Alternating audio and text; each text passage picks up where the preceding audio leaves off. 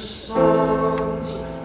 And the younger of them said to his father, Give me the goods that falleth to me.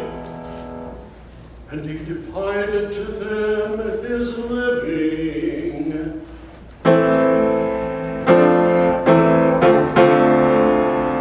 And the younger son gathered together and journeyed to a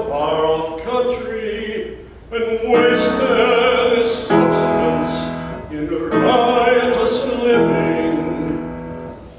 When he had spent all, there arose a famine in that land,